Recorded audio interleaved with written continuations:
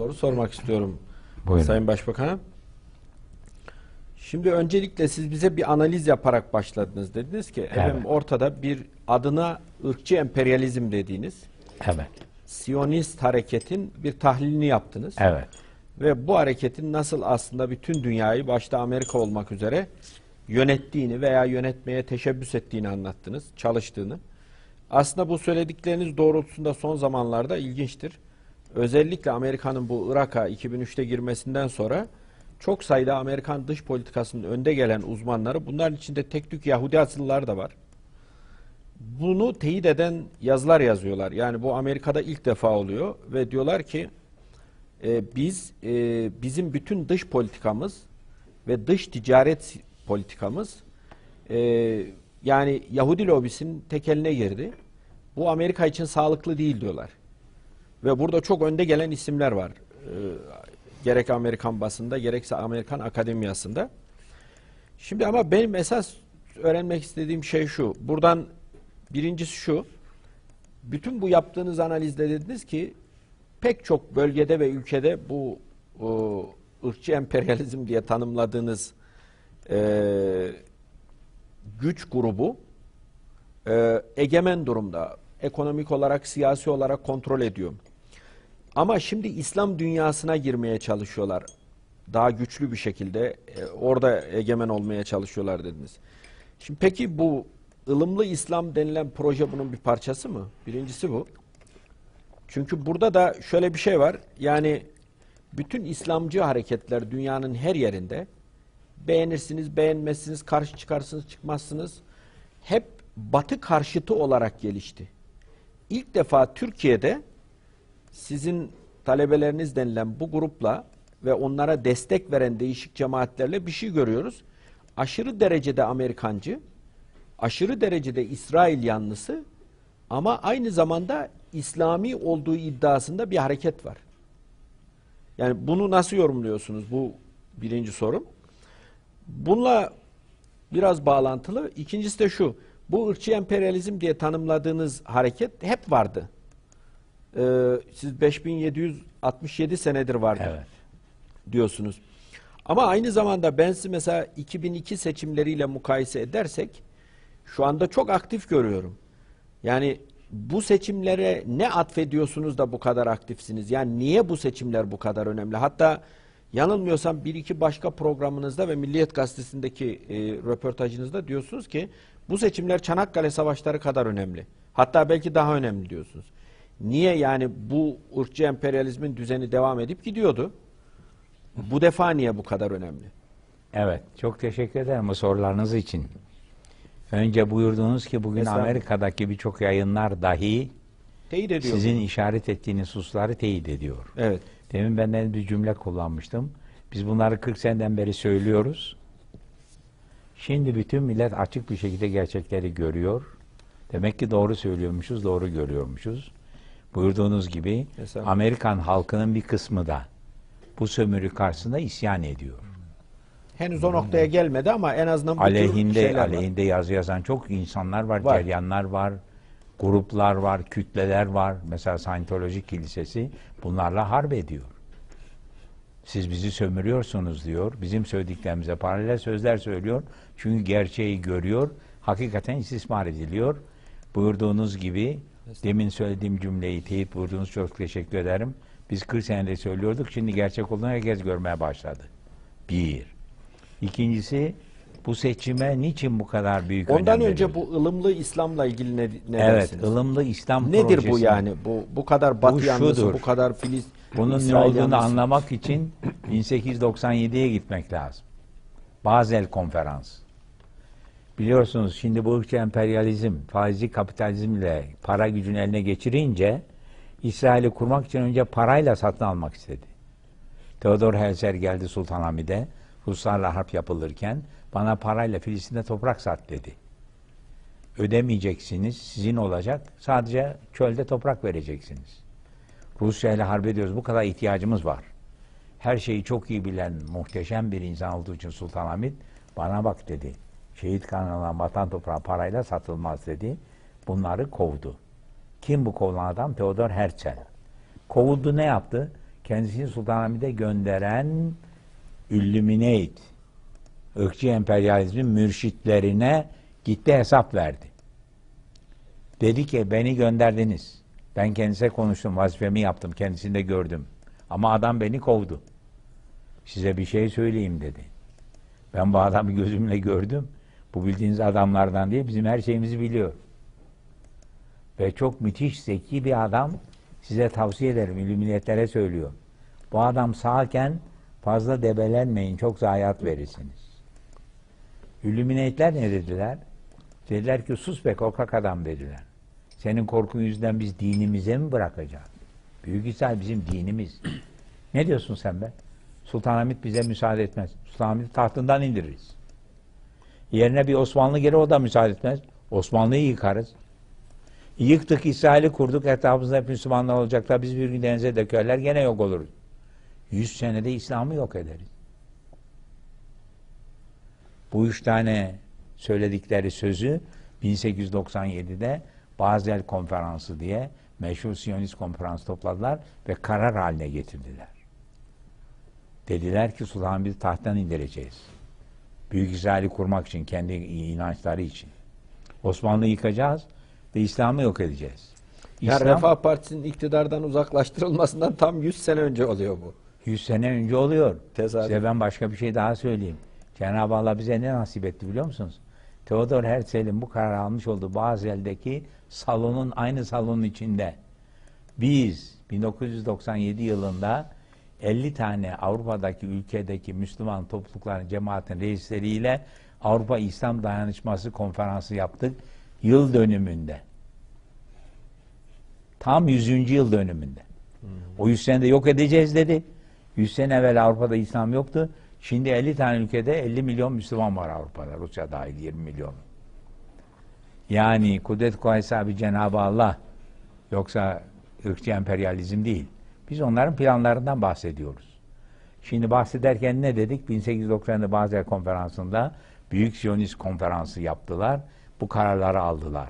Dediler ki bizim gayemize ulaşmamız için, Büyük İsrail kurup yeryüzüne hakim olmamız için Sultanahmet'i indirmemiz lazım. Osmanlı'yı yıkmamız lazım.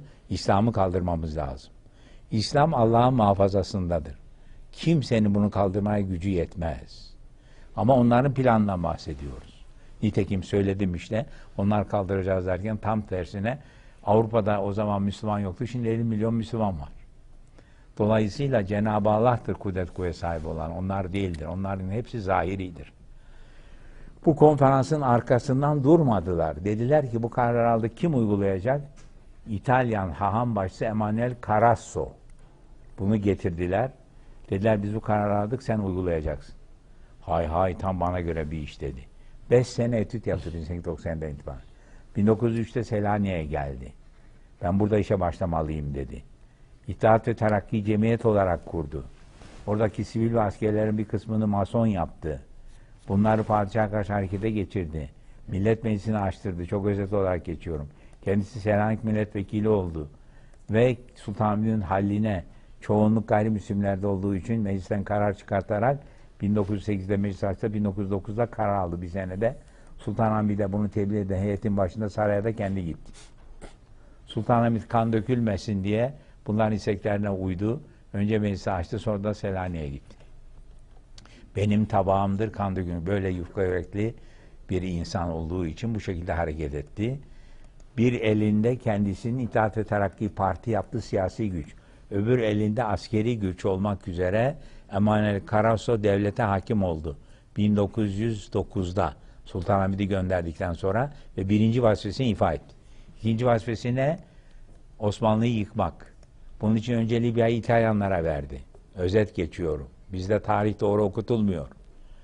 Yunan'ı, Rum'u, Rus'u birleştirmek suretiyle Balkan Harbi'ni çıkarttı. Onları Yeşilköy'e kadar getirdi.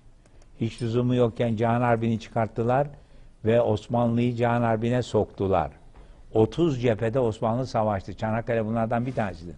Galicia'sından Yemen'e kadar. Dünyanın hiçbir milleti böyle bir savaşa dayanamaz. Bu millet ne sağlam bir millet ki 4 sene 30 cephede bütün dünyayla savaştı. Sonra bir hitap düştü önüne Sevr'i koydular. Sevr Büyük İsrail projesidir. Sevri koydular. imzalamak mecburiyetinde kalındı ama Sevr'i uygulayamadılar. Fransızlar Kahramanmaraş'a bizim olsun diye gelmedi. Burası Büyük İsrail parçası alıp İsrail'e vereceğim diye geldi. İngilizler Ürdün'e, Filistin'e bizim olsun diye gitmedi. İsrail'i kurmak için gittiler.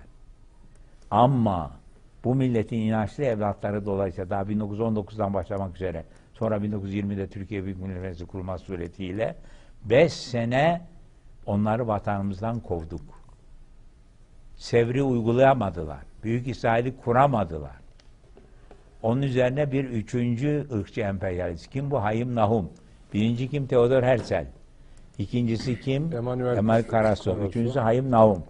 Hayim Nahum İnönü'nün sözde müşaviri. Gitti İsmet- önce İsmet İnönü. İsmet İnönü'nü müşaviri olarak kullanıyor. Mısır haham başısı Hayim Nahum. Gitti bu dedi ki bu Lozan'ı imzalayın. Lozan imzalamadığını söyleyebiliyorsunuz. Ben size hayranım dedi. Ben Mısır haham başısıyım. Niçin imzaladığınızı biliyorum. Siz diyorsunuz ki ya biz Harbi'ni ne yaptık? Büyük İsrail'i kurmak için. Harbin galibi değil miyiz? Harbin galibi olduğumuz halde niçin İsrail'i önce küçük kurup sonra büyütecekmişiz? Kurmuşken büyüğünü kuracağız. Ne kadar haklısınız. Ve sonra diyorsunuz ki İsrail'i kurmak marifet değil, güvenliğini sağlamak. Bunun için Anadolu'da 19 Haçlı Seferi'ni püskürten Selçuk ve Osmanlıların mirasçısı bağımsız bir Türkiye olmayacak diyorsunuz. Ben bunun için de size hayranım. Ama kalbimin yanında aklımı da kullanıyorum diyorsunuz ama yapamıyorsun. Gücünüz yetmiyor çünkü bunlarda iman var. E ne olacak? Gelin yalancıktan Lozan'ı imzalayın. Asıl olan Sevr olsun. Bir time out anlaşması olarak Lozan'ı imzalayın. Hayım Nahum'un teklifi bu oldu. İmzalayın ama dört şey yapın. Anadolu insanını aç bırakın. işsiz bırakın. Borca esir edin, diniden uzaklaştırın. Yumuşak lokma yapın. Harp ederek değil. Yumuşak lokma yutarak Anadolu'yu yutun. Hayım Nahum doktrini budur. Bu doktrini o vakit Lozan'da ileriye sürdü. Amerika imzalamadı. Çünkü o tam Siyonizmin kontrolünde. Hayır ben hiçbir şekilde buna imza atmam dedi. Hiçbir zaman Lozan imzalamadı. Ama Lloyd George ve Clemenceau time out anlaşması imzaladı. Şimdi bu AKP şuursuz bir şekilde ne pahasına olursa olsun ben Avrupa Birliği'ne gireceğim diye gidip bunlara yalvarıyor ya. Önüne onun için Sevr'i koyuyorlar. Lozan'ı değil. Çünkü onlar Sevr'i esas alıyor. Budur uygulanacak olan diyor. Lozan'ı biz muhakkak imzaladık sizi yumuşak lokma yapmak için. Ve 80 senedir üzerimizde bu uygulama için çalışmışlardır. Tekrar ediyorum. Hayım Nahum doktrini ne demek? Her Türk evladının bunu bilmesi lazım. Anadolu insanı aç bırakacak, işsiz bırakacak, borca esilecek, dininden uzaklaştırılacak. Bu onların planıdır. Yumuşak lokma yapılarak yutulacak. Çünkü bunlarda Sütçü İmam var. Bunlarda Rıdvan Hoca var. Bunlarda Hasan Basri Çantay var. Bunlarda Vehbi Çıkrıkçı var.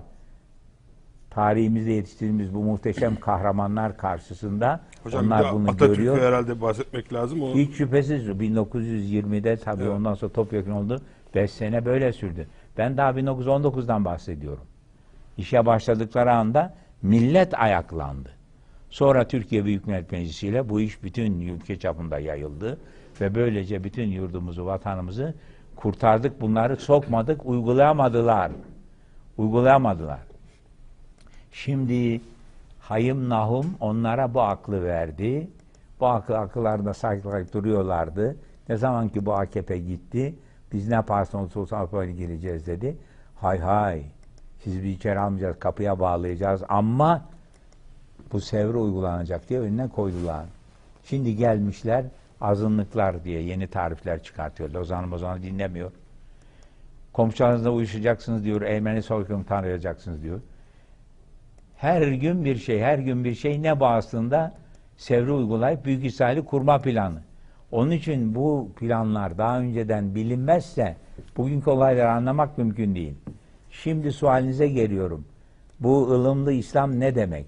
Bu ılımlı İslam 1897'de İslam ortadan kaldıracağız dediler ya. İslam ortadan nasıl kalkacak? Bir yasaklayarak kaldırmanız var. Bir de özünü değiştirerek kaldırmanız var. Dünya Siyonizmi ikisini de deniyor. Hem yasaklama yoluna gidiyor hem de özünü değiştirme yoluna gidiyor. Siz namaz kılacaksınız, oruç tutacaksınız fakat Siyonizmin kurduğu düzene karışmayacaksınız.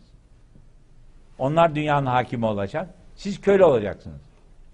Siyonizmin kölesi, Müslümanlık kölelik kabul etmez.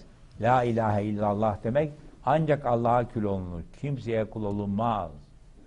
Müslümanlığın temeli bu. La ilahe illallah öyle muazzam bir şey ki her şey onun içinde. Ondan dolayı Müslümanlık şekil dini değildir. Müslümanlık şuur dinidir. Şimdi bu AKP'deki arkadaşlar, benim ben de İmam Hatip okulu mezunuyum. Ben de şunu okudum, ben de bunu okudum, ben de eski milli görüşçüyüm. Bana bak, bunların hiçbirisi bir şey ifade etmez. Sen asıl Müslümanlığın temelini kal. Müslümanlık bütün insanlığın saadeti için hakkı hakim kılmak demek. Sen Siyonizme hizmet ediyorsun. Tam tersine bütün insanların sömürülmesine yardım ediyorsun. Demin söyledim ya, yarın bunun hesabı olduğu zaman veremeyeceksin bu hesabı.